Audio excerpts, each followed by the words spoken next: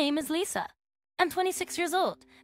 I have two kids, ages 4 and 3, who attend daycare. Oh, currently, I'm working part-time at my uncle's company until my children grow up. My husband, who recently received a promotion to supervisor at the supermarket where he works, is 32 years old. When he got the promotion, he was shyly happy, saying with a smile during dinner, It somehow reminds me of when I received my first job offer. I Our children, even though they didn't understand what was going on, seemed happy to see their parents having a cheerful conversation. It seemed like our family time was wrapped in happiness.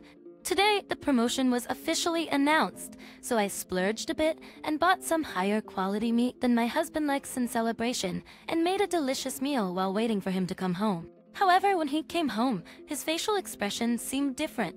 I went to the door with our kids as usual and said, Welcome home, but he didn't respond with his usual, I'm home, and a smile. Our kids and I were puzzled, but I thought he might be tired, so I told him dinner was ready without making a big deal about it. While I was setting the table, my husband, who usually changes clothes and cheerfully comes straight to the dining table asking, What's for dinner tonight? sat at the table with a serious expression. And then looking at the food laid out on the table, he said, you, is this supposed to be my celebratory meal? Or costache this? I couldn't believe my ears.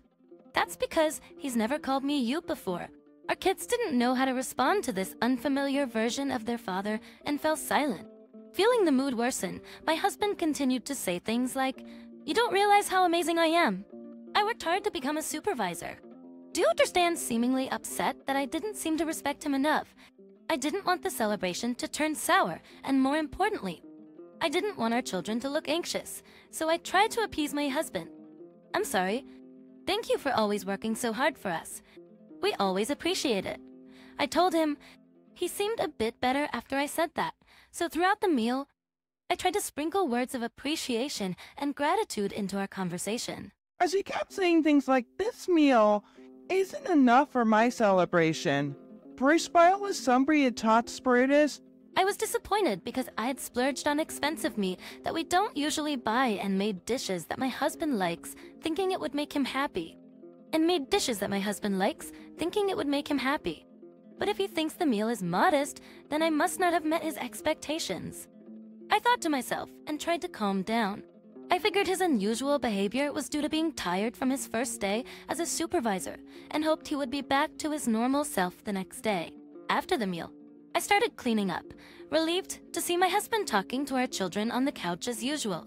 Usually, I can hear the three of them laughing, but it was very quiet, so I stopped what I was doing and listened to their conversation. I was stunned to hear what they were talking about. If you want to be like Daddy, you have to study a lot. but watch out in the future if you end up like Mommy who doesn't study. Alright. What kind of thing is that to say to the children? I asked him, but he responded angrily. That's not wrong. That's bad about it.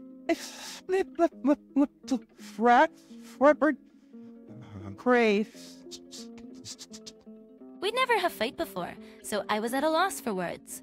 When I stayed silent, he sneered and said, I say you can't answer, can you? Oh, Out here, gosh, you could have survived without me, could you? You don't want to live off of our children, do you? I asked him, What's gotten into you today? You're acting strange.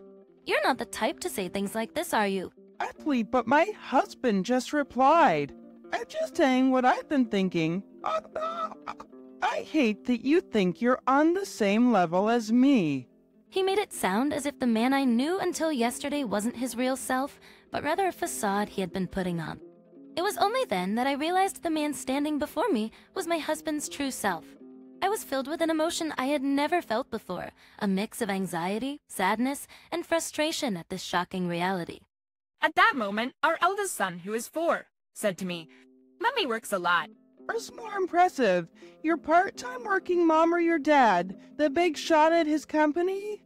Kaisk, my husband scoffed at our son's silence, saying, Ours is Russ Raylan saying, I can't understand even at the age of four. You must have inherited your mom's brains as well as her looks. To distract the children from the situation, I suggested with a smile. Shall we take a bath together? Usually, it was my husband who bathed kids, but they were thrilled to take a bath with me instead. Our eldest son, who usually insisted that I help him undress.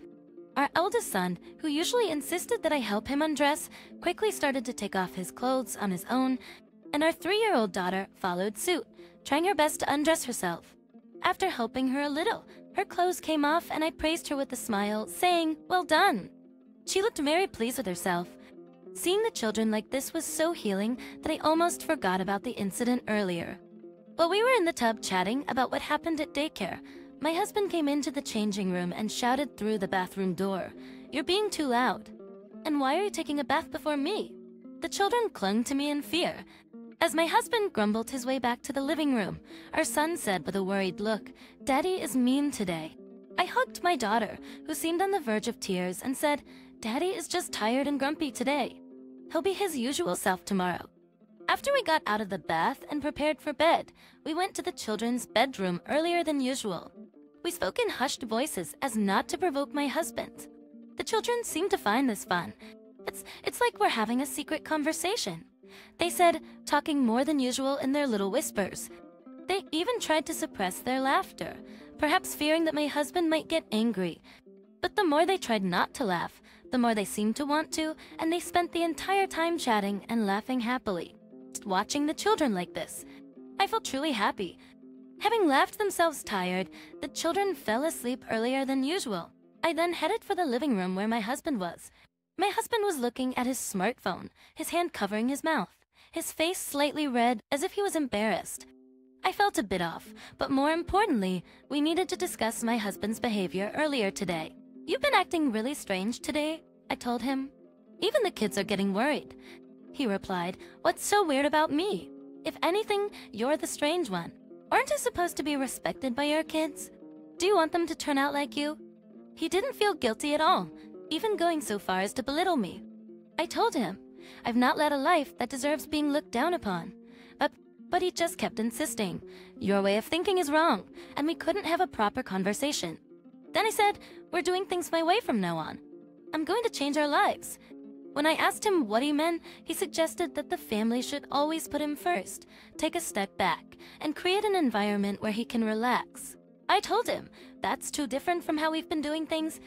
The kids will be confused. Please stop. But it seems like he heard about the family life of a department head. He respects and thought that my and the kids' attitudes towards him at home were wrong. It seems he got some words of encouragement from the department head when he got promoted and had a little chat. In that conversation, the department head had said, the reason I was able to become a department head a bit earlier than my peers is all thanks to my wife. So my husband asked the department head about his wife and family. The department head's wife doesn't let him do anything, allowing him to focus solely on his work. This hasn't changed even after their child was born, and she manages all the housework and childcare perfectly. Their child apparently wants to be just like their father too. Hearing this, my husband seemed to think that the reason his promotion came later than his peers was my fault. He now believes that if he makes our family like the department head's family, he can catch up with his peers and get promoted earlier. I didn't say it out loud, but I thought to myself that it wasn't my fault, but rather his work wasn't being appreciated. I felt so drained all of a sudden. As I was heading to the bedroom to sleep, my husband stopped me. At least a moment I got promoted. I've been admired more than ever by the part-timers and temps. As soon as I became a supervisor, my phone never stops buzzing. He said, a hint of blush on his face. I had my doubts about what he said, but I was too exhausted. So I just said, sure, sure, and went to the kids' room. I got into the kids' bed and decided to sleep there. The next morning, I was disappointed to find that yesterday wasn't a dream. When our son casually said, good morning to my husband, he suddenly yelled, it's good morning, sir, to your father. Our daughter, startled and scared, burst into tears and our son, holding back his tears, said, Gee, good morning, sir. You should be grateful to be with someone like me due to a mix of anger and sadness. Was and in front of the crying children, our eldest son, who had been holding back his tears as he had never seen such a quarrel before, also started crying. I couldn't help but join them in crying due to a mix of anger and sadness. Seeing this, my husband exclaimed, What a depressing start to the morning, and left for work without eating his breakfast. As I was comforting the crying children, our eldest son caressed my head and told me, Don't cry, Mom. Swiping away my tears, I hugged the children tightly and assured them with a smile I won't cry anymore. Then I prepared for my work and got the kids ready for daycare before heading out. Because when I was with the children, I could act cheerfully, but when I was alone, I felt incredibly down. I can't help but think about how to restore our family to its previous state of happiness. The company I work for is a consulting firm run by my uncle. My uncle is my mother's brother. Since he and his wife never had children, they've always doted on me since I was young, like a second set of parents. On his recommendation, I obtained the necessary certification to work as an art consultant, and now I work at his company. After I gave birth to my children, they've allowed me to work shorter hours. When my uncle runs the consulting firm, my aunt runs a real estate agency, our apartment is rented from her real estate company. When I arrived at work, my uncle noticed my tear-streaked face and expressed his concerns. I brushed it off with a smile, saying I just couldn't help but cry when I saw the kids off to daycare, but I think my uncle saw through me. He kindly told me don't hesitate or talk to me if you need anything, while patting my head.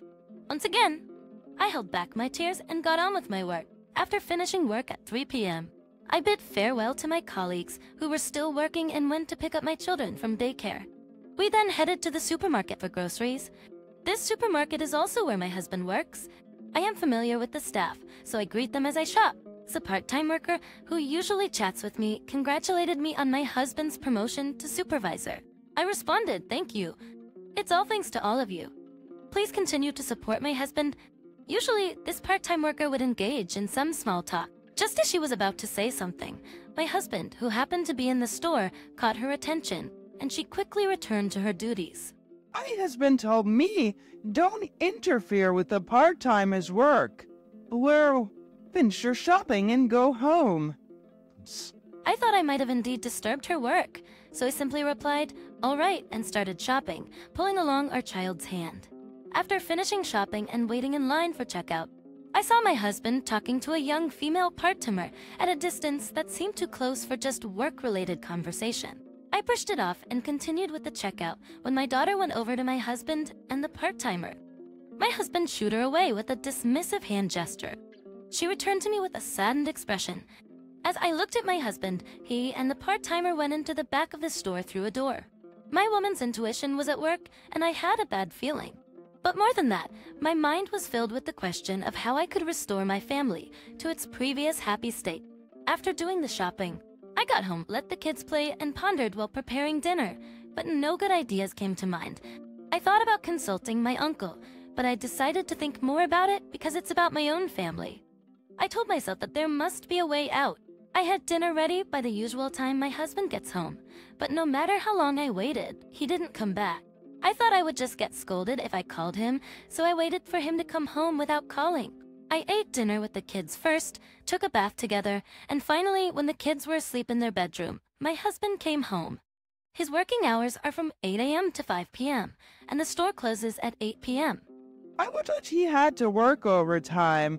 So I didn't ask anything and just reheated dinner. However, my husband said, I don't need dinner today. I've already eaten three but was silently turned off the stove and cleaned up. And when I glanced at my husband, he seemed to be exchanging messages with someone on his smartphone. He noticed my gaze and began to make excuses even though I didn't ask saying listening to the employee's concerns is also part of a supervisor's job.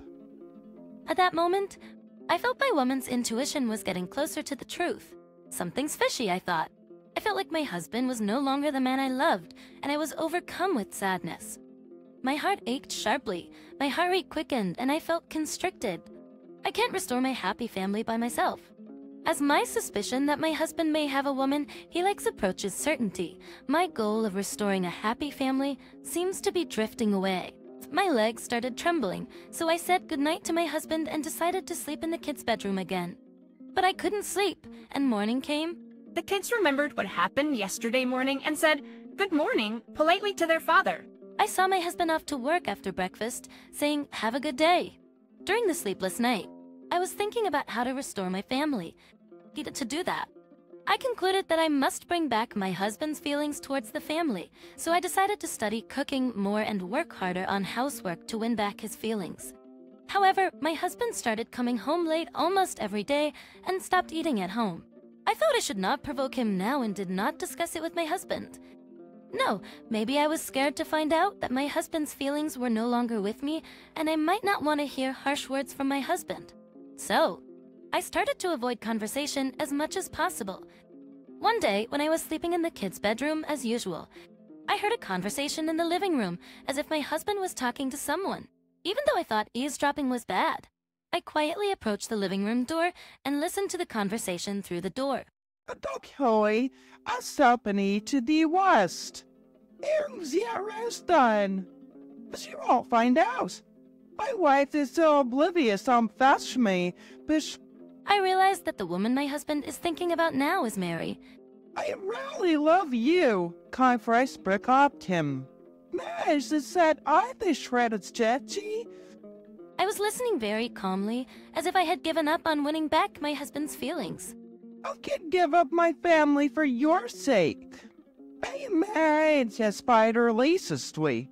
Chuck, just when these words came out of my husband's mouth, my mind went blank. I flung open the door and confronted my husband. What do you mean by giving up your family? Are you saying you'll abandon not only me, but also our children? I yelled at him. My husband quickly hung up the phone, his face slightly flustered, but the next moment he had a defiant attitude. So I'd have a hard time with two kids if we divorced. What are you talking about? There's no way I can accept that. It's not a parent's place to talk about abandoning their children. I couldn't hold back any longer, even though I was worried about waking up the kids. I couldn't stay calm, and I raised my voice to my husband. My husband, who had never seen me argue back so much, was taken aback, but he took a deep breath and shouted back at me. Oh, you think you are working part-time? But you're so bitter, stop leeching off me. Drop your death to me. The next moment, our eldest son went up to my husband and cried out, I hate you, and account that's me, Riction. My husband's had been said to our eldest son, You guys are the ones who should leave. Oh. I stood in front of our son and said, Don't be so harsh on the kids. I thought our son would cry even more, but he was glaring at my husband with an angry face. My husband took out an envelope, likely from the government office, from his bag and handed it to me with a smirk. Inside the envelope was a divorce paper. You guys get out? I'll give you two days. Be out by then. Saying that, my husband packed his things and left in the car. I hugged our eldest son and said, Thank you for standing up for Mom. Fine to which she replied, I hate anyone who bullies Mom, and began to cry. When I went into the bedroom where our son and daughter were, our daughter jumped out of the bed, hugged me, and started trembling as she cried. I told my children, shall we live somewhere without Daddy? Just the three of us. Without any hesitation, the kids said, we don't want this scary place. We don't need Dad. Their decision as little kids might change someday. However, living with someone who can easily say that he will abandon his children for the woman he loves will never lead to the happiness of the children.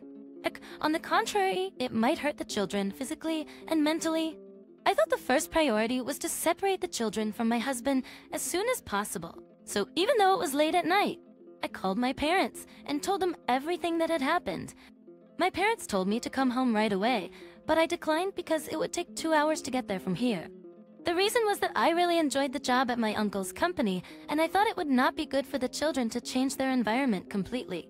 Moreover, they have a lot of friends at the daycare center and they look forward to going there every day, so I couldn't choose to go back to my parents' house right away.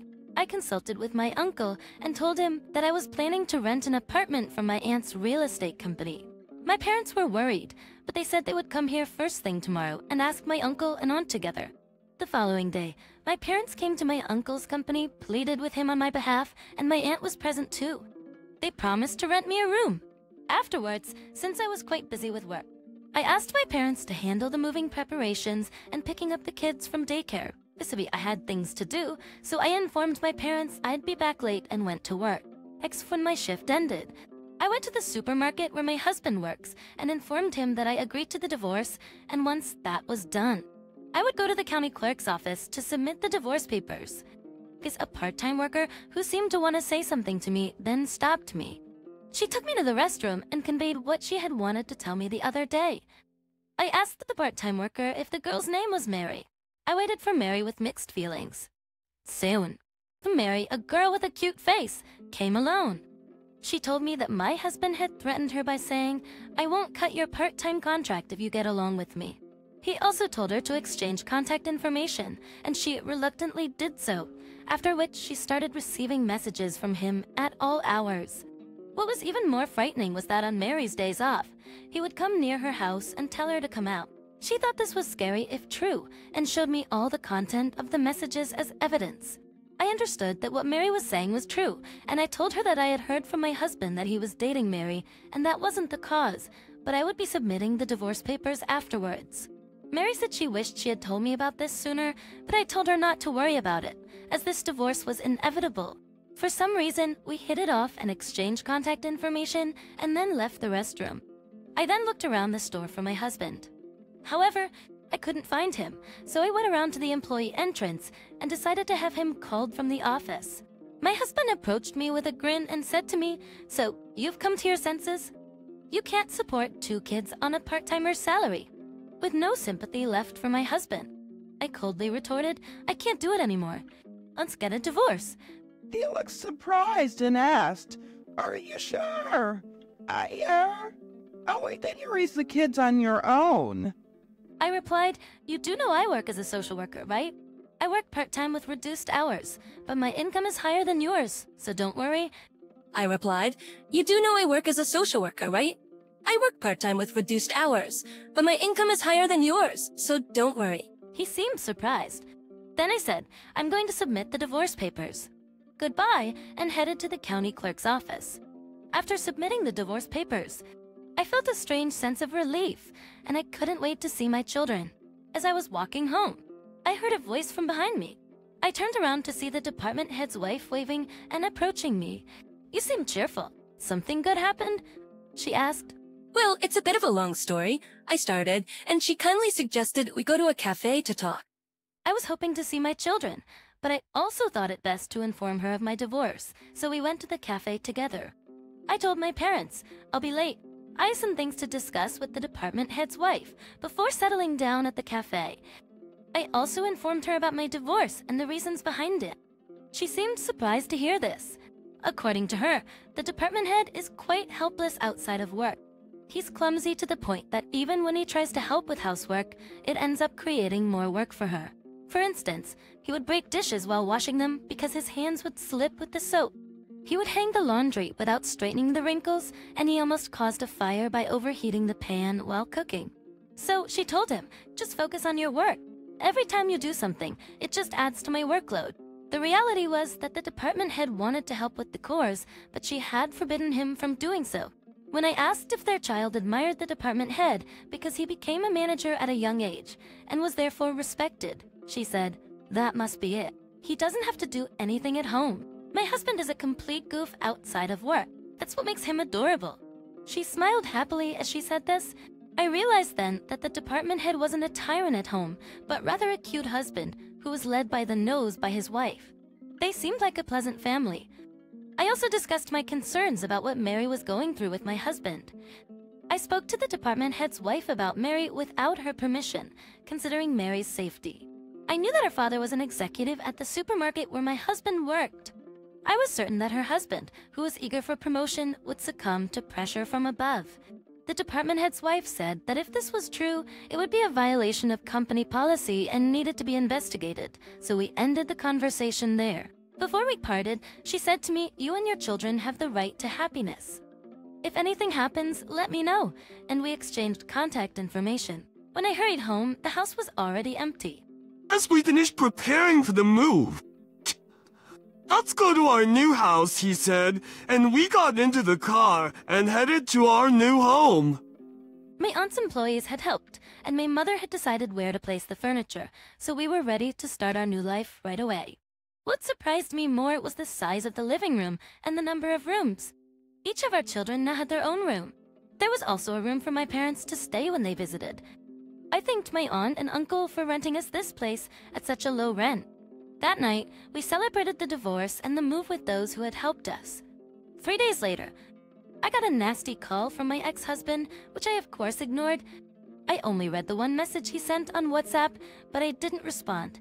He was surprised to find that all the furniture was gone and only his belongings were left in the room and demanded the furniture back. Most of the furniture was something I bought when I was single, so I just overlooked it. I got a call from the department head's wife as well. She told me that the, department head had given my ex-husband a stern talking to.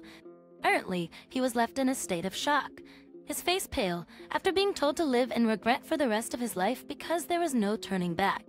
Mary and her parents went to the headquarters compliance department, explained what had been done to her by my ex-husband, with evidence from their WhatsApp messages, and submitted call recordings as new evidence. It seemed that this was suggested by the department head's wife to Mary. When my ex-husband found out that the damage report had been reported to the headquarters, he said, I'm not stalking her. For dating, However, he was told by the folks at the headquarters that having a romantic relationship with a part-time employee while you have a wife is also a violation of compliance. He was shocked into silence. Then, the headquarters representative showed the evidence submitted by Mary, and upon realizing that he had really been causing trouble, that there had been no relationship, and that it was all a misunderstanding, the ex-husband broke down in tears. There had been no relationship, and it was all a misunderstanding. My ex-husband broke down in tears. In the end, it seems he was given a notice of dismissal from the company and was set to be transferred as a regular employee to the branch in Alaska.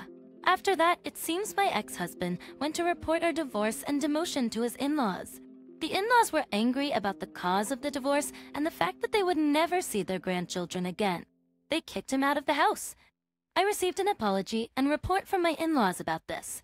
I also received an apology from my in-laws, and they promised to make sure he paid his child support properly, every day. I get messages from my ex-husband saying he wants to start over, but I'm thinking about blocking him soon. My children don't mention their father at all. Just on the contrary, they seem to be living happily, being pampered by their aunt and uncle. I'm done with marriage. From now on, I want to protect my children's smiles and happiness at all costs. I'm divorcing you, you fool.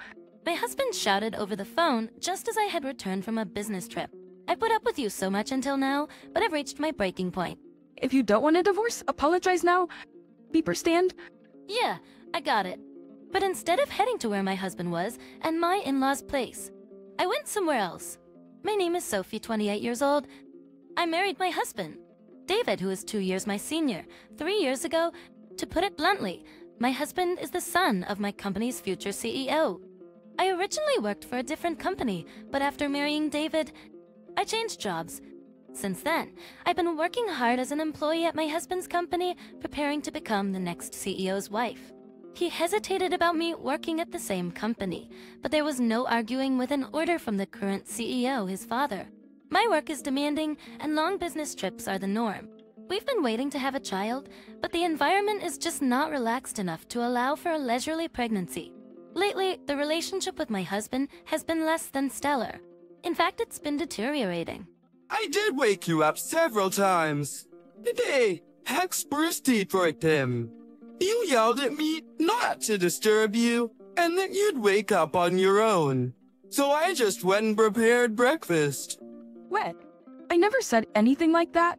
I'm not lying.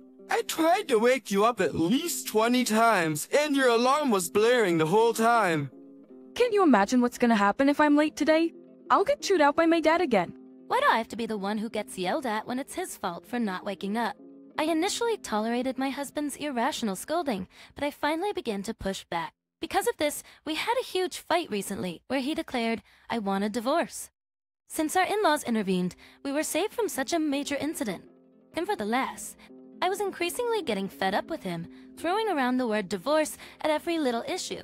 One day, while I was preparing for a business trip, my husband approached me with a sullen expression. Hey, Sophie, you're off on another trip, huh? Seemingly dissatisfied with my frequent business trips, my husband always derides them as trips. I responded exasperated, It's not a trip. It's a business trip. Why do you keep making me repeat the same thing? Must be nice always going on trips and neglecting the housework. You're probably just going sightseeing after pushing all the house chores on me, right? Listen, that's enough. This is for your company, you know. What the hell is wrong with you? Can't you tell the difference between a trip and a business trip? Well, it's the truth, isn't it? You say I'm dumping the house chores on you, but you've never done anything around the house when I'm away on a business trip. When I'm not around, my husband only ever orders takeout, leaves the laundry piled up, and doesn't even take out the garbage.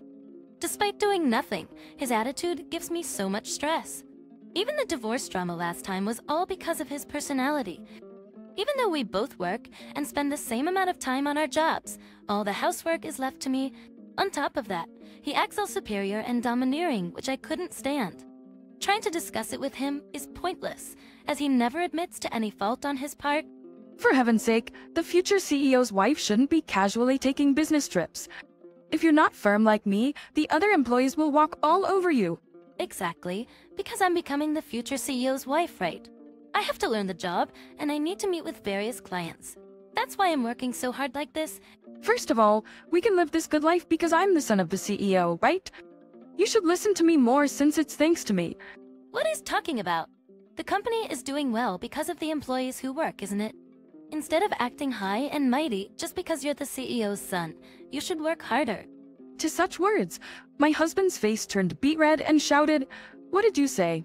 Texture these people, Superior? I heard other employees gossiping, you know. They said you always push overtime and bothersome tasks onto others and constantly complain. What in teachers? Who said that? I'll fire them on the spot. How can you not see that you're the one at fault? How can you not understand that you're sullying your father's name? My husband's eyes widened in anger, and he roughly pulled my bangs. Don't get too full of yourself. After all, who do you think got you this job at this company? Bruh. Nudge, let go. You're able to work at this prestigious company because you married me. Got it? To refuse the business trip, I won't allow you to neglect the home for a business trip. I've said it many times. It can't be helped since it's for work. Shut up. Don't talk back. You married me, so you should just quietly listen to what I say. If this argument continues, it might lead to another divorce scare. I forcibly drove my ranting husband out of the room and prepared for my business trip. When I return, I'll have to take care of a week's worth of housework piled up by my husband. I bet the floor will be littered with clothes again, and the trash won't be taken out, like that thought. I felt tired even before the business trip. The next day, as planned, I went on the business trip. I performed my duties diligently, without mixing personal feelings into my work. When I returned home after a week, the scene I couldn't believe was spread out before me. As far as the eye could see, the house was spotless, not a speck of dust in sight. It hadn't changed much since the day I left for my business trip. Thank goodness finally. David seemed to have understood my feelings. He must have had a change of heart and worked hard on the housework. Just as I started to feel relieved that my husband was finally cooperating. I found the completed divorce papers on the table. Next to it was a note saying, I'm going back to my parents' place. Lex, we're getting a divorce. Frank in a panic. I quickly called my husband, and he answered promptly. Hey, did you read the divorce papers? Bumblebee credits. His nonchalant tone provoked me, and I fired back. Wait, are you serious about getting a divorce?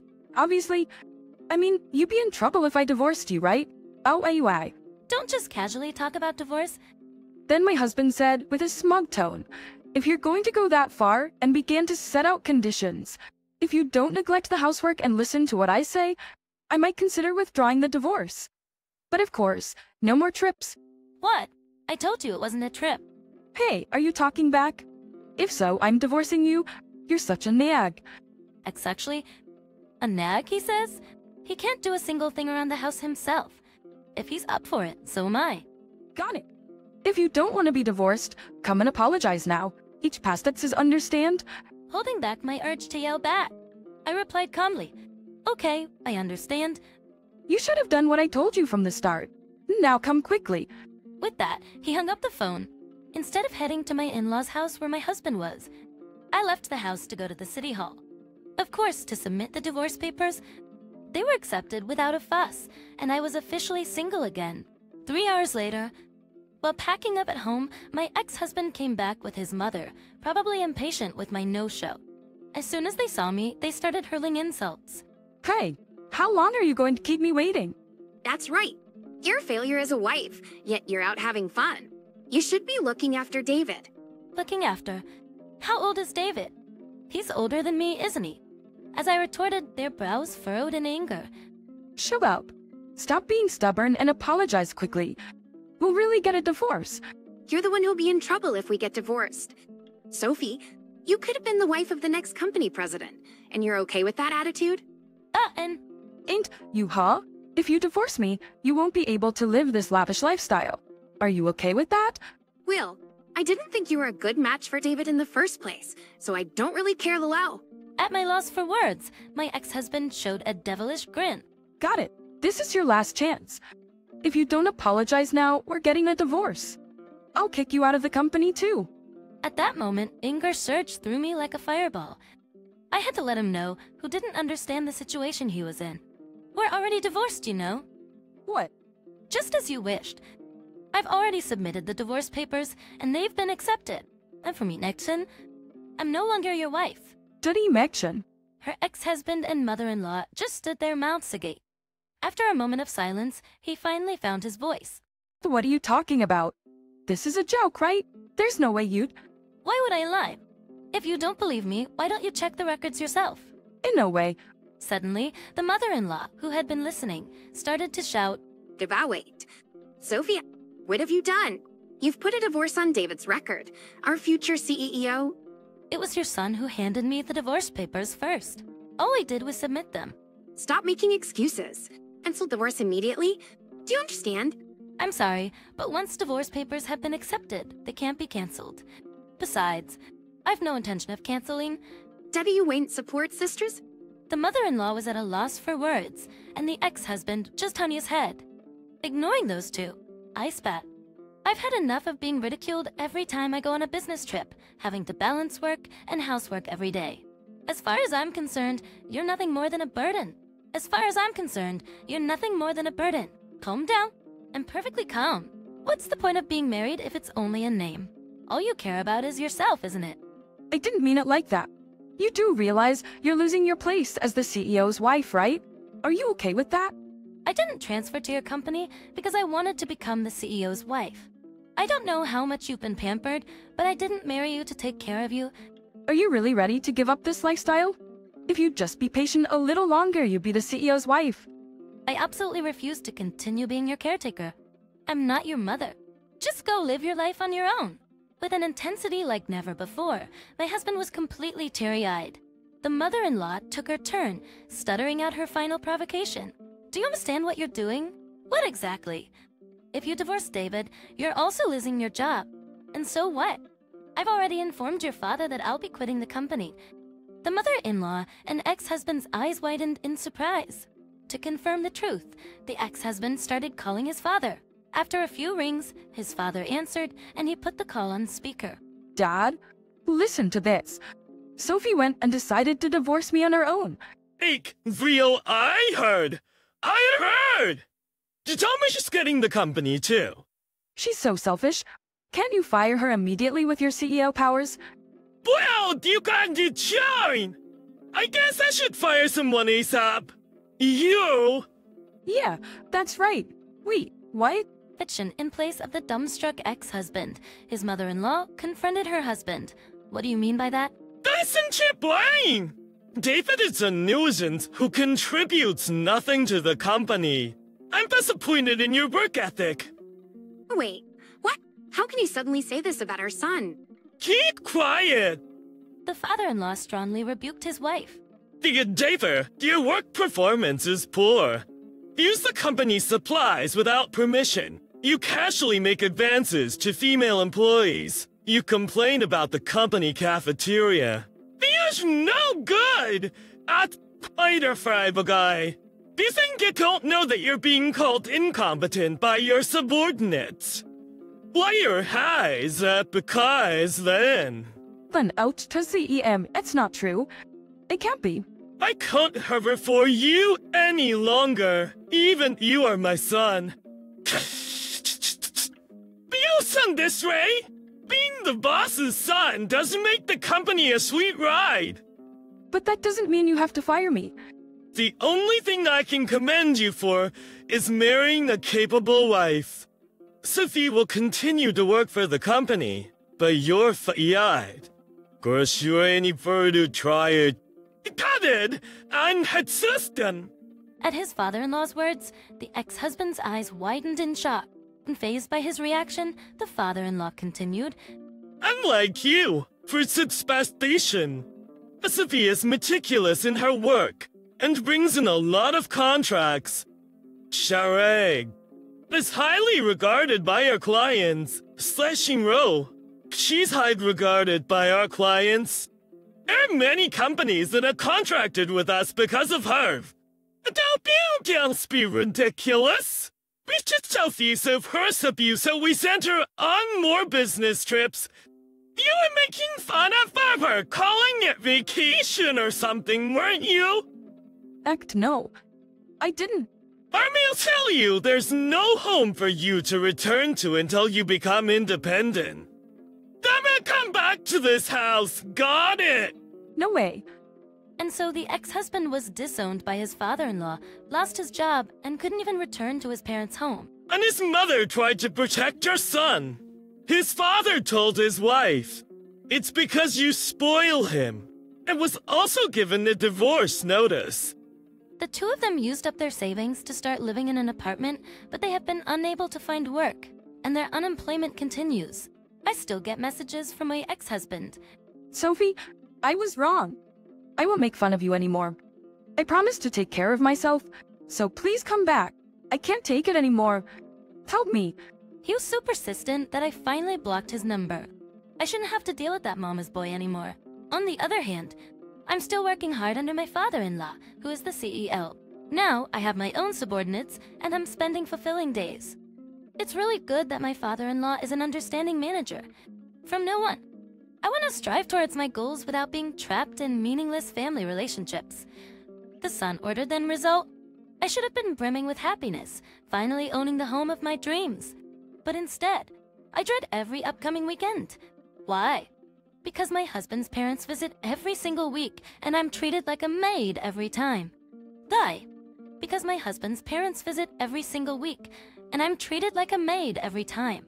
Far from getting a break from the stress of work, I only grow more exhausted with each day off. I reached my limit and decided to invite my own parents over, hoping that it would deter my in-laws from visiting. But my husband lashed out at me, bellowing, don't you dare invite your parents. If you don't like to live here, you can get out. Well, fine. I'll leave. He'll be the one to regret it. My name is Emma. I've been married to Michael for five years. We were previously living in a rental, so we've been planning to buy our own house soon. Michael's parents got wind of this. Though, Emma, Michael told us about your plans. You're finally buying your own house, huh? Yes, that's right. If you need any help looking for places, just let us know. We're more than happy to help. Oh, thank you. How about visiting some open houses soon? I had plans on carefully selecting our new home with Michael, but my mother-in-law seems keen on being involved with every step of the property search. Just yesterday, she showed up unannounced with a brochure for a plot of land that's up for sale. Emma, what do you think about this property? It's near the subway station, and it's spacious enough for a duplex house. A duplex house? Apparently, they're planning on moving in with us. That's why they've been sticking their noses in our property search. She's been constantly chiming in with suggestions like, it would be better to live nearby the subway since it's a hassle to walk, or it would be convenient to have a supermarket nearby. And here I thought she was just looking out for us, but all along she was just stating her own preferences, thinking that she'd be living there too. I immediately relayed this to Michael. Michael, your mother came over this afternoon with a brochure for a plot of land that's for sale. It seems like she and your father want to live with us. Ah yeah, she did mention something like that. Wait, you heard it from your mom? Why didn't didn't you tell me such an important thing? I thought we could talk about it once it was more concrete. Do you object? The mom. Well, yes, because I was thinking that we'd be leaving you and me. And besides, your mom and dad are still healthy, aren't they? I can't predict far into the future, but I think right now it would be best if we lived separately to maintain a good relationship. I see. I understand how you feel. Dema, Michael listened to my feelings and was able to convince his parents that we're not planning to live together right now. After hearing Michael's reasoning, it seems his parents finally gave in. I thanked him again for handling the situation so well. Thank you. Michael, the problem? If you're against living with them, then we won't force it. Instead, let's have my folks visit our new home often after we move in. Of course. After that, Michael and I found the perfect place, and we are finally able to get our own home. Once we moved in, his parents came to visit our new home right away. Emma, congratulations on the move. What a nice house you have. It seemed that his mother was satisfied with our new home. Please feel free to visit anytime. I told her this with a gentle feeling, and that day, the four of us shared a meal around the dinner table. The following weekend, I suggested to Michael that we should go buy some decorations for the living room, but he seemed disappointed and told me. The following weekend, I suggested to Michael that we go buy some decorations for the living room, but he seemed disappointed and told me, uh, can we postpone the shopping for another time? Do you have plans for the weekend? My folks said they wanted to come over.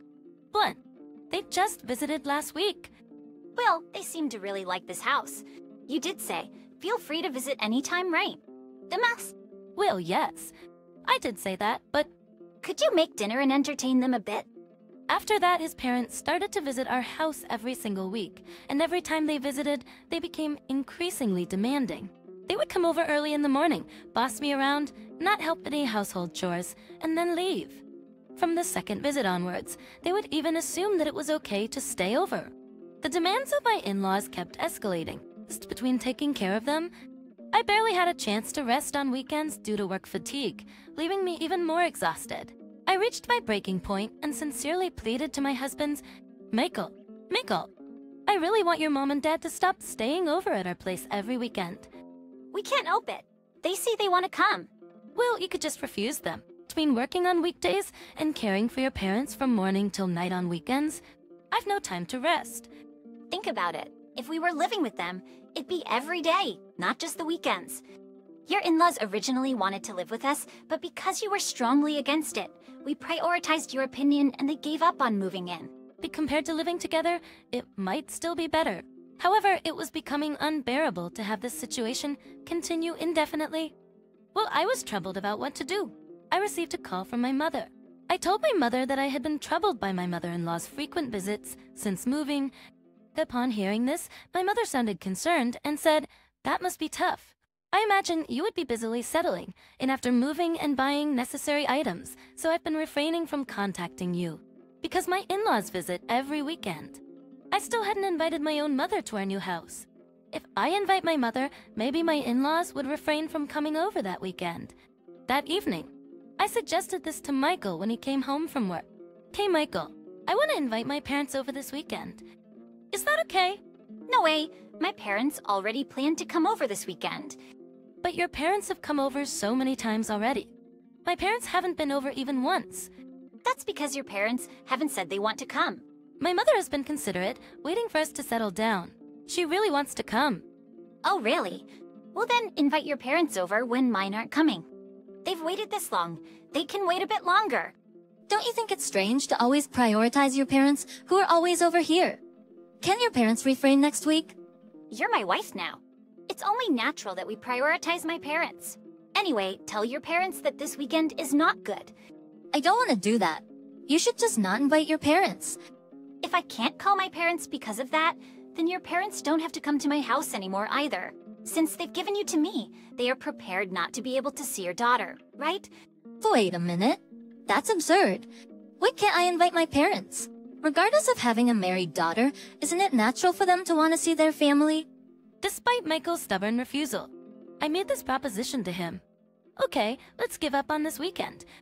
But from now on, let's try to invite each other's parents on a more regular basis. Okay?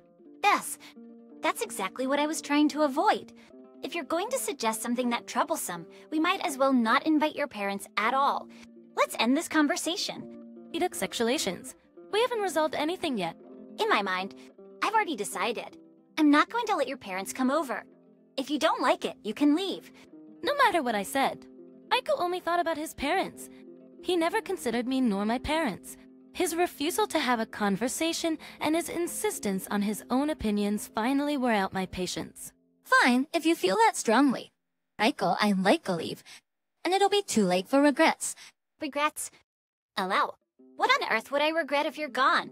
Just remember this. I won't recognize any apologies. Don't come crawling back wanting to return. Being loudly laughing Michael behind.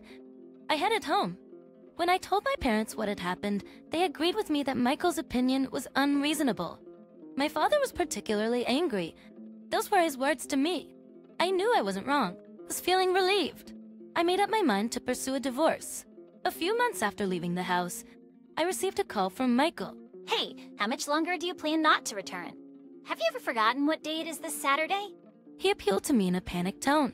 Oh right, it was the day we were supposed to invite your coworkers over to our new house. We've been planning it since we moved, remember? But won't your Mel be coming that day? What did you tell your coworkers that my parents are visiting and refuse them? There's no way I can say that. Moreover, I've invited a new boss from my department that day. If I cancel now, it could affect my future at work. I don't care. You're the one who kicked me out, remember? Is this the time to be arguing? Stop sulking and come back already. We need to start preparing for everyone's arrival, or we won't make it in time. I'm not returning to that house. What? Are you okay with jeopardizing my job? I don't mind. I plan on leaving you. Anais, leaving? Are you serious? Yes, I've been thinking about it since I left the house. My parents also agree with me. Your parents too? They're just as out of touch as you. Do what you want. I'll have my parents help with the preparation for inviting my coworkers. I don't need you anymore. You're going to regret this. Do what you want. I'll have my parents help with the preparation for inviting my coworkers. That's my line. Goodbye. I hung up the phone abruptly, right about now. Michael is probably frantically contacting his in-laws, preparing to invite colleagues from the office. Since his in-laws have done as they please so far, it would be good for them to taste some hardship for once. Then, during the problematic weekend, our home phone rang in the afternoon. When I picked it up, Michael, with a flustered voice, said, Uh, why is Emma answering the phone? I was calling my new boss's home. Why? Well, because it's my house, of course. Emma's house? Don't tell me the new boss is... Emma's father? Yes, my father used to work at Michael's company. He had been away from the main office for a few years as an advisor because a related company was launching a new business.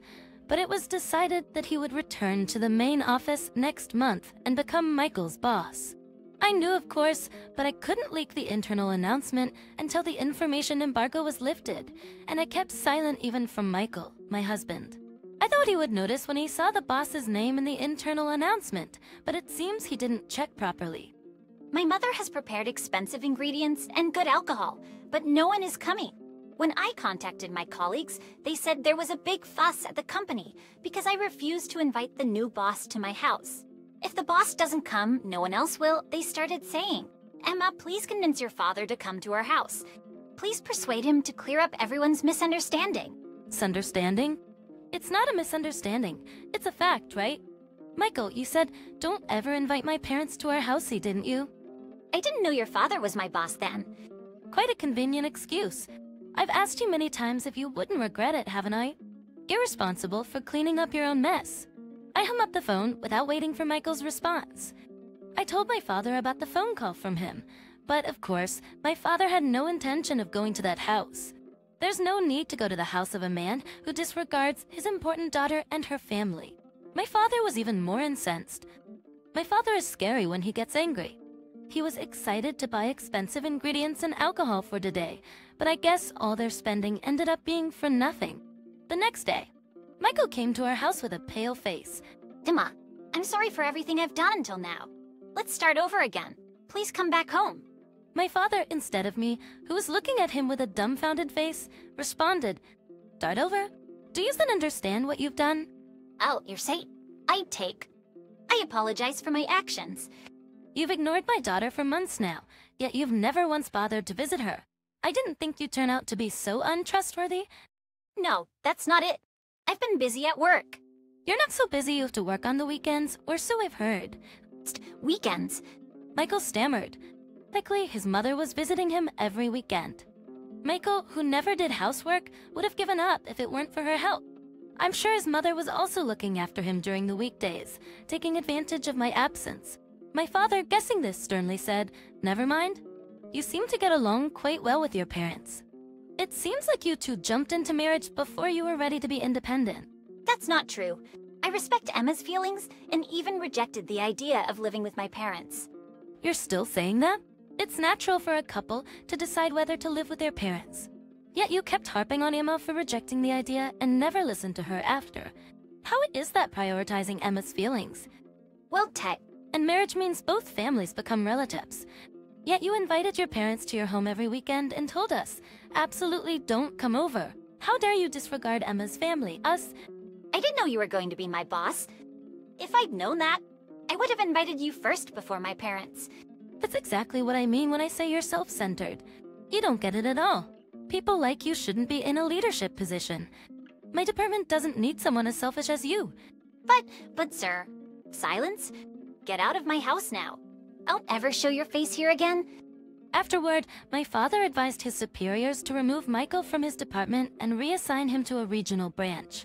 No one defended Michael, who was already known for his selfish behavior. Even his parents, who doted on him, couldn't follow him to a remote region. Now, they can see him only once a year, if at all. Meanwhile, I've been living comfortably at my parents' house after finalizing my divorce with Michael and focusing on my work.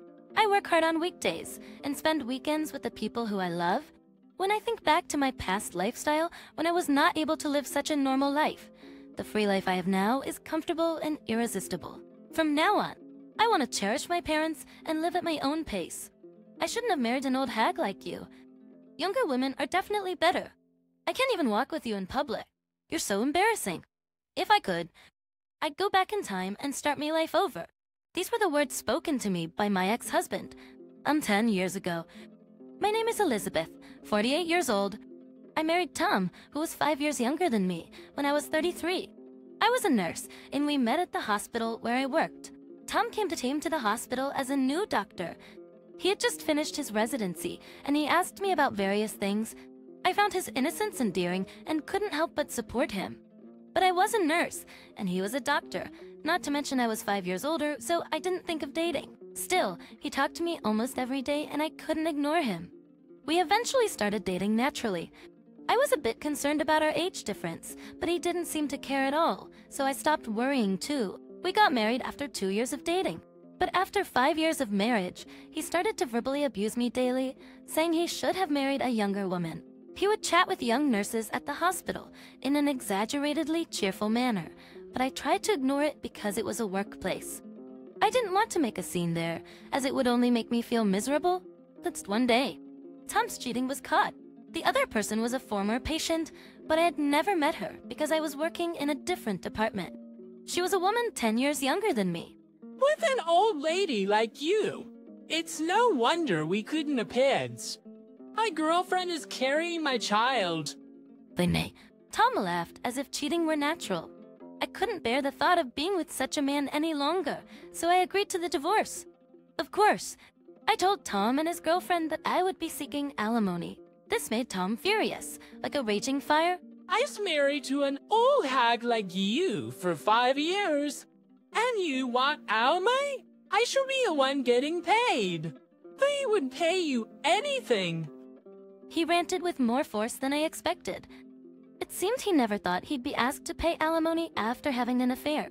I even received a call from Tom's father, who seemed completely unconcerned with his son's wrongdoing, saying that it's natural for a young man to be attracted to a young woman.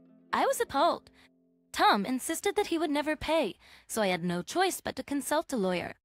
I couldn't back down quietly after all the horrible things he said and his affair. The lawyer told me that demanding alimony was my right, and I left everything to them.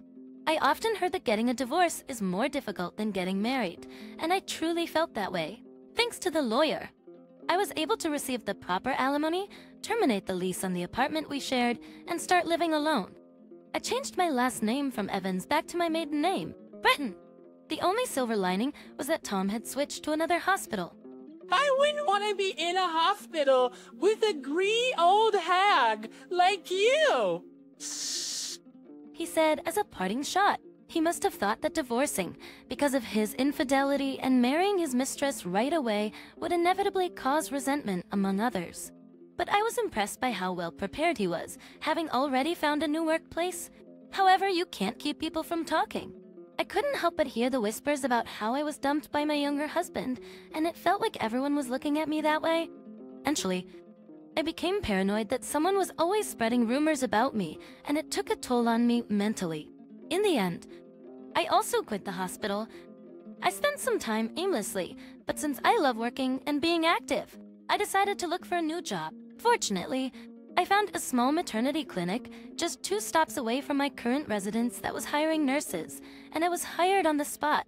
It was a small hospital with a minimal number of doctors and nurses, but it was a comfortable workplace where everyone got along with the patients. Miss Britton, you're very observant and well liked by the patients. Except to your collections, we're lucky to have you. Thank you. But my peaceful days didn't last long.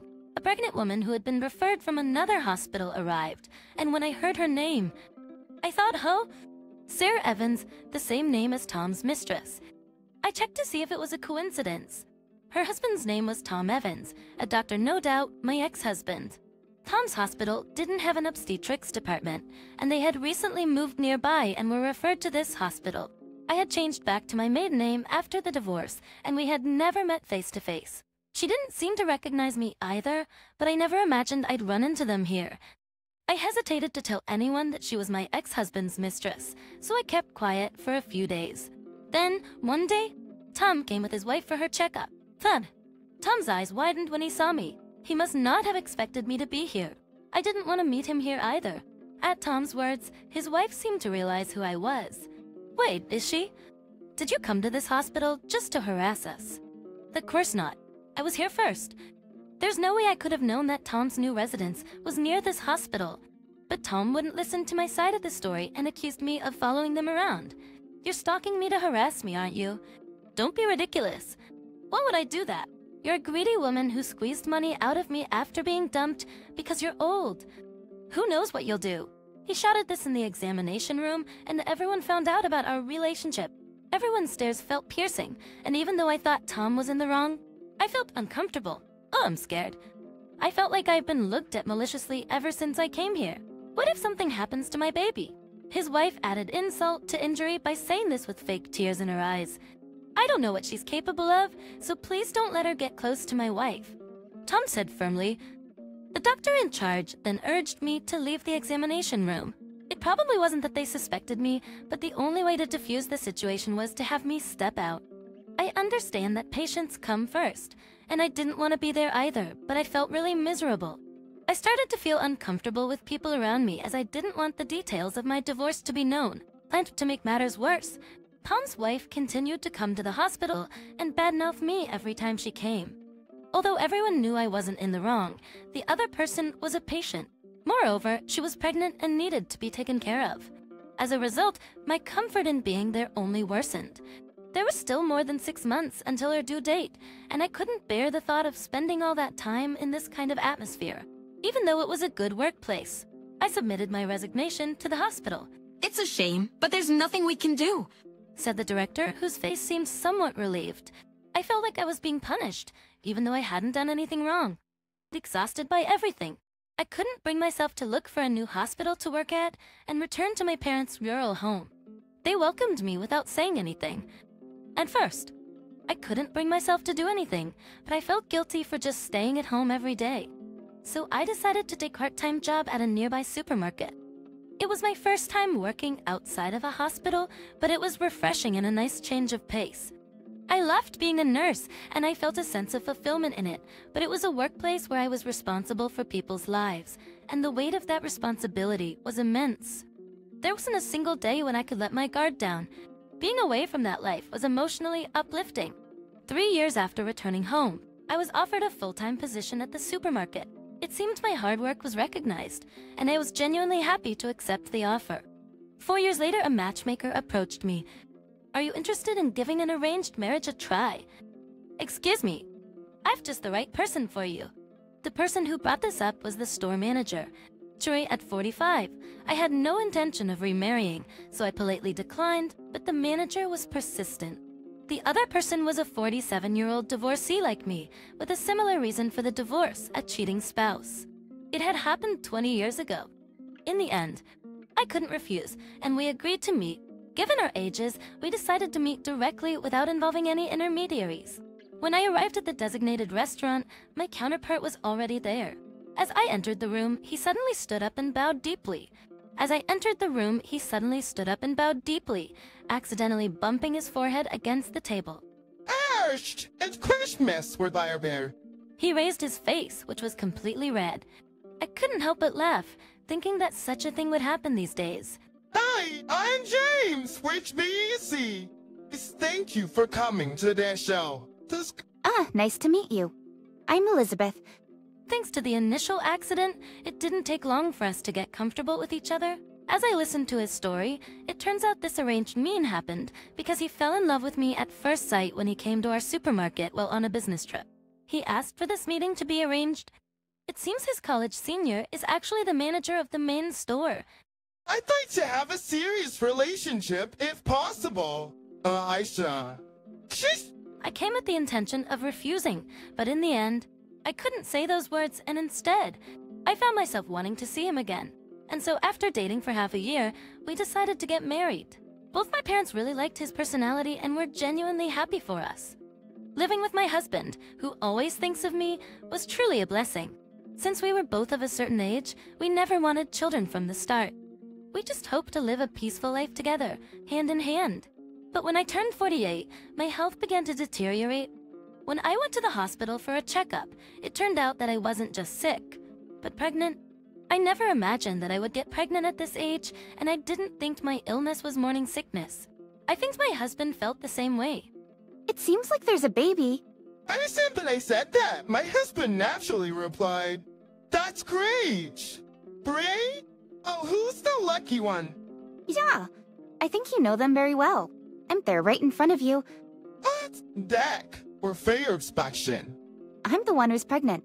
At my words, my husband made a puzzled face and was silent for a while. I thought to myself, of course this would happen. He looked down at my belly. Oh, damn it, When I nodded, his eyes widened even more. I'm sure the news was so unexpected that his mind went into a panic. I mean, even I did. Oh, that means they're going to be mom and dad? And... Seems like it. Lady, read time. Wow, heard this on daring. Bro, oh, with an uncharacteristic surprise in his voice. My husband hugged me. It's unbelievable. That's time. A miracle. A miracle. Is it okay for me to give birth? I never really considered not giving birth, but there's the issue of age. It's not like I'm not worried about what lies ahead. Even at the hospital, I was asked, what do you want to do? I know very well that there are risks associated with giving birth at an older age for both the mother and child. I don't expect everyone around me to be supportive. I'm sure there will be people who will ask how old I will be when my child turns 20. I'm not without my fears about whether or not I can raise a child at this age. Still, I could never bring myself to end the life that has taken root within me. What are you talking about? How you... Of course, yes! So when my husband immediately responded that way, I was happy. I thought it was his genuine feeling. But after a while, he started to worry about my health. It's easy to imagine various negative effects, even for a man like my husband. We discussed it at length and decided to go ahead with the pregnancy after talking with our doctor. My parents and his parents were surprised and worried, but they were also very happy. That's how we decided to give birth at a well-equipped large hospital. The participating doctor was very compassionate and reassuring, and on the day of one of my checkups, not only the obstetrician, but also an internist was scheduled to be there, just in case. My husband was supposed to be there, but he had an unavoidable work commitment, so I went into the examination room alone. But to my surprise, my ex-husband, ex-Tom, was also there. And honestly, I couldn't believe I would run into him in a place like this. Wait, wait, seriously? As a 48-year-old pregnant woman, hearing birth at that age is unbelievable, low. Tom burst out laughing. The obstetrician and the nurse in the room looked confused, but Tom didn't seem to care. You have no right to say that to me. I'm just worried about you, an old lady, getting pregnant. That's just gross, Lo. Is that how you treat your patients? I can't believe you would say something so hurtful to a pregnant woman who's already anxious. Are you really a doctor? What are you acting so high and mighty for? Most of the patients at this hospital are wealthy, Wabaduanao. You don't understand that? You should leave before you embarrass yourself. Excuse me. Dr. Evans, to know I'll be leaving anyway. I wouldn't dream of giving birth at a hospital with a doctor like you. Dr. Evans, that woman is the wife of the heir to the Miles Group, who has made significant donations to our hospital. Prosper no Gerstadolation. Tell me, but she's my... I've no connection to you. Even so, what you just said is terrible. As Mrs. Miles pointed out, I can't believe a doctor would say something like that. Even so, what you just said was terrible. As Mrs. Miles pointed out. Just then, my husband arrived. Hi, I'm late. This upkeeper's... My wife has been a great help to you. He could clearly see that I was angry, and Tom was pale, sensing something was off. Is something wrong? I was just told by this man here, Dr. Evans, that giving birth at 48 is disgusting. Why? That was Adams. Upon hearing those words, my usually mild-mannered husband's expression changed instantly. And because I mentioned Dr. Evans, he probably realized this man was my ex-husband. I talked about my previous marriage, and he knew Tom's name and occupation. Are you Dr. Evans? You insulted my wife, didn't you? As soon as my husband finished speaking, the nurse who had left earlier returned with the director. Director, we came to this hospital because my father recommended it. But I can't believe a doctor like this is employed here. It seems we chose the wrong hospital. I heard there was some rudeness. Director it came to this hospital because my father recommended it, but I can't believe a doctor like this is employed here. It seems we chose the wrong hospital. I'm terribly sorry. That's not true. This man is not our doctor. I just fired him. Wait, Director, what are you saying? I didn't know he was like this either. I only took him in because a friend asked me to. We don't, you don't need a doctor who spouts such abusive language. He won't appear before you again. Hearing the director's words, Tom, who was shouting, and no, I won't leave. I don't want to, was dragged out of the hallway by the obstetrician. The director apologized so profusely that we felt sorry for him, so we regained our composure and sat back down. Especially where my husband's anger didn't subside immediately. And he asked, Is it because my father has donated to this hospital that you fired him? If not, would you let a doctor like him roam free? The director shook his head in disbelief. Actually, it seems that Tom had only been at the hospital for a week. Tom's father was a classmate of the hospital director, and after a recent reunion, he had begged the director to hire his son. The director had never imagined he would be like this, and genuinely apologized. It's not like all the doctors at this hospital are like Tom. In fact, our obstetrician is a very good doctor. If Tom wasn't here, I want to give birth here, and my husband agreed. My father-in-law is the president of a major company with branches across the country, donating part of their profits to medical and welfare facilities. He had donated a large sum to this hospital because my mother-in-law was treated here for a serious illness when she was young. So my father-in-law recommended this hospital for my childbirth. Since a few days later, Tom contacted us, begging us to talk to the director and rehire him. If you'd asked, they might reconsider, right?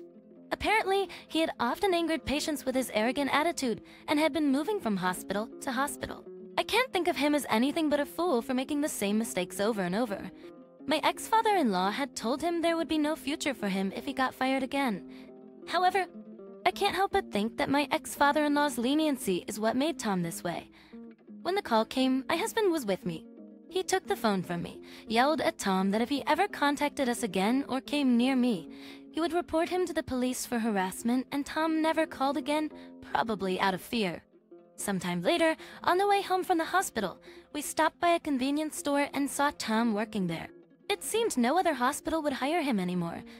He was crying and said his wife and child had left him, but I couldn't feel any sympathy. I just decided never to go to that convenience store again. The following year, I gave birth to a healthy baby girl. She's very adorable, no matter what happens. I'm determined to raise her with responsibility and care. But my husband has been smitten with our child since the moment she was born. He seems to be becoming a very indulgent father, so I have to be careful.